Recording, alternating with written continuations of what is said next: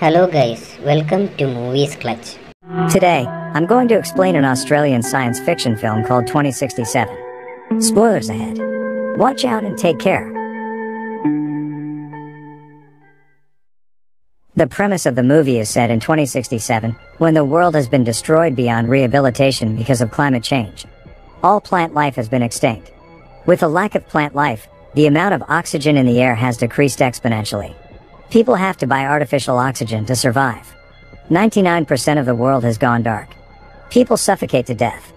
In such conditions, only one city in Australia has survived, and it is all thanks to a company called the Chronocorp Corporation that manufactures synthetic oxygen. However, artificial oxygen causes a fatal disease called the sickness over time. Humankind has mere years before it goes fully extinct. Ethan Whyte is a resident of the Australian city. He and his friend, Jude, work as mechanics in the Chronocorp Corporation. The corporation is also working day and night to find a cure for the sickness and a way to save the world. Ethan's wife, Xanthe, also has the sickness. Ethan works hard day and night to earn and buy her better oxygen. One day, as Ethan and Jude work in the tunnel, the Chronocorp CTO of Particle Research, Regina Jackson, summons them to her office.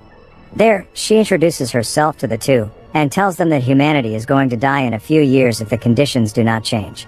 She then reveals that Ethan is the only one who can help everyone and save humanity. Ethan is confused and doesn't believe her. But Regina insists he visit their lab. The lab has huge machinery, the lab doctor named Billy Mitchell introduces himself to Ethan and looks at Ethan's wrist device for a second. They then explain to him that Ethan's father, Dr. Richard Whyte, started this project 20 years ago. The machine that stands in front of them is a time machine called the Chronicle. In the first ever experiment done with the machine, they had to send radio waves into it to check what was on the other side. They found out through it that 407 years later, in 2474, the Earth would have enough vegetation to maintain enough oxygen in the air and sustain human life. The people come to believe that if humanity still exists several hundred years later, it is likely that they have found solutions to all the problems plaguing their reality. However, a strange activity baffled the scientists there. The waves they sent had come back reformed. When they decoded it, they found out that someone from the future had sent them the message saying, send Ethan Whyte. So now, Regina and the whole team want to send Ethan into the future for him to bring back the cure. Ethan is beyond surprised. He doesn't believe them and thinks that Regina is just bluffing. Moreover, he doesn't want to leave his sick wife and go into the future. So, he declines to help. Later Ethan and Jude are at a diner, where they buy crisp oxygen. Jude tries to persuade Ethan to go through with the plan and help save humanity. However, Ethan laughs at him, saying that he doesn't want to be like his father. Ethan hates his father for never being there for him. 20 years ago, his father left home and went missing, while his mother was killed when he was a kid. Since then, he has been brought up by Jude, who he regards as his older brother as well as best friend. He blames his father for leaving his mother to complete the project, and doesn't want to follow in his path and leave his sick wife. However, Jude manages to persuade him, saying that the only way he can save his wife is by finding a cure. Ethan reminisces of his 8th birthday when his father has bought him a strange box as a gift. As he puts his hands inside the box, a device latches onto his wrist, making him bleed. Richard had placed a permanent hand device on his son. It has been many years but Ethan doesn't know its use yet. Later at home, Ethan tells Xanthe everything that happened during the day, and she too insists him to go. The following morning, Ethan scribes, I will find my way back to you on a metal flower, and leaves it beside Xanthe. He then goes to Regina's office again and tells her that if he can find only one cure, they will have to give it first to Xanthe. Regina accepts and takes him to the lab again. Dr. Mitchell shows him the suit that he has to wear before getting into the machine. As they begin to explain the mission to him, Ethan realizes that they do not have a plan. They have no clue what he will see, or who he will meet at the other end. However, after they put him in the suit, they give him an AI device called the Archie. Archie will show the lab Ethan's vitals at all times. It will also help to navigate his location. Then, they finally throw him into the machine. Inside, Ethan moves at high speed through time. He falls from the sky and lands in an unknown jungle. The friction from the air causes his suit to catch fire, so he quickly gets out of it. Then, he looks around and is astounded by the beauty of nature. He finds that the world has completely changed. The trees and the natural oxygen are back. He walks in the direction Archie directs him and sees a bunker door of some sort. But what catches his eyes is a skeleton that lies right in front of the door. Its skull has a bullet hole in it. Furthermore, he looks at the name tag on it and is horrified to see his own name. The skeleton is Ethan's. Ethan also finds the skeleton's Archie and plays the last recording on it. He hears a man say that this is the only way and shoots Ethan. Just then, the device's power goes off. He is horrified, believing that this is the fate that awaits him. Then, he notices the skeleton's wrist device. It is identical to Ethan's, except the light glows green in the skeleton's device, but Ethan's has been red his whole life. That night, he lights a fire and eats wild berries. It turns out that the berries were poisonous. Ethan vomits and starts to go unconscious. Ethan wakes up after a while, and is surprised to see Jude in front of him.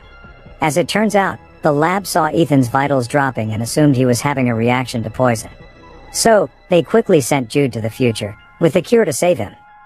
Sometime later, Ethan and Jude find that his skeleton remains there, which means his fate hasn't changed. They then use Archie to find another door. Some device scans Ethan's eye and grants them access. When they go in, a monitor welcomes him. It asks him for a DNA sample. When he accepts it, his wrist device begins to work, making him bleed. After the blood test, it goes green. The lights to the room turn on and they realize that they are in Chronocorp's lab, 407 years later. The time machine is in front of them too. Jude gets excited because now they have the means to go back to the past, but Ethan doesn't think so, saying they haven't changed anything, and he will end up dead, just like the dead Ethan. Ethan checks the system log and finds a holographic recording made by his father, who explains that the time machine was originally designed to collect the oxygen data in the future planet, and then transmit it back to the past.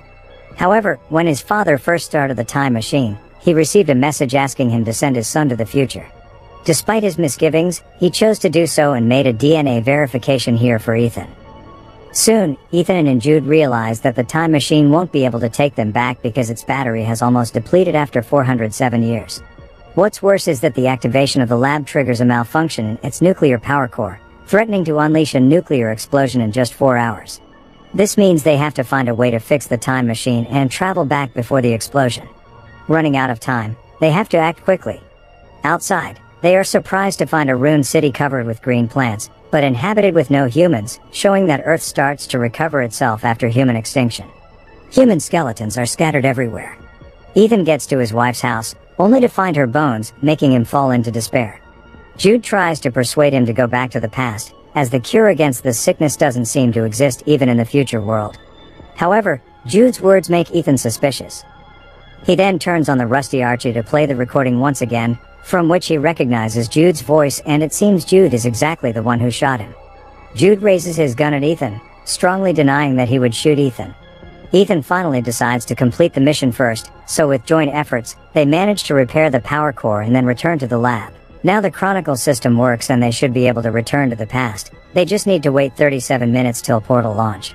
Once the countdown reaches zero, the portal will tether to 2067 for approximately 30 seconds. However, Ethan still finds his body remains behind a door at the same location, which implies that they haven't made any changes to the future. In order to figure out the truth, Ethan pulls out the battery of his current Archie and puts it onto the rusty one. In that way, he gets access to another video, in which Ethan is assured that his future self will be killed by Jude. Jude then confesses that there is no hope of changing the future and he is trying to protect Ethan. Finding it hard to believe, Ethan locks his brother up in a room, then plays back his father's holographic log from the day he died.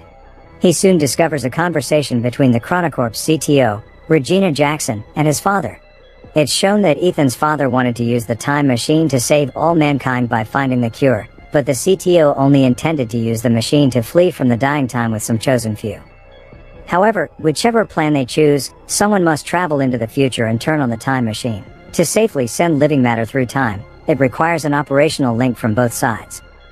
In order to stop the CTO with her plan, his father locks the time machine and sets Ethan's DNA as the verification key. In anger at what Ethan's father just did, the CTO killed him immediately.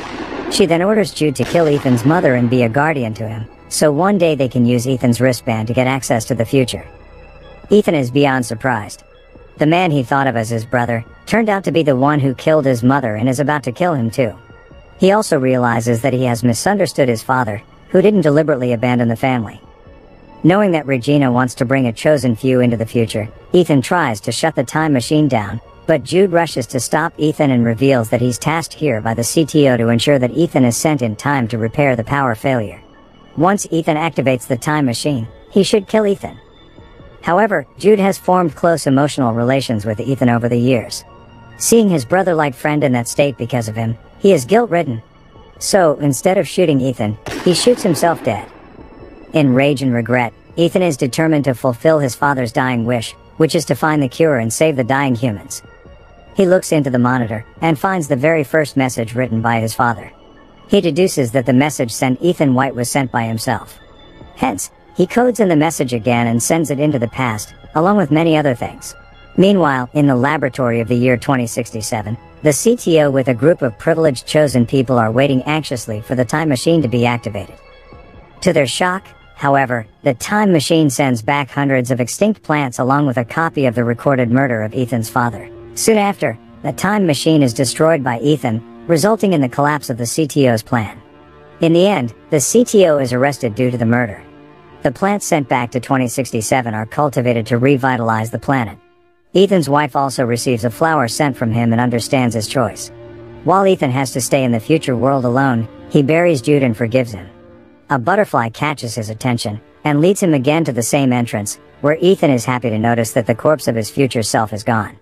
He rushes to take a look at the world outside and feels relieved to see a futuristic eco-friendly city, in contrast to the deserted one from earlier. His decision had changed the future of mankind. Subscribe for more videos like this, turn on notifications, and leave a like to help the channel out. Thank you for watching.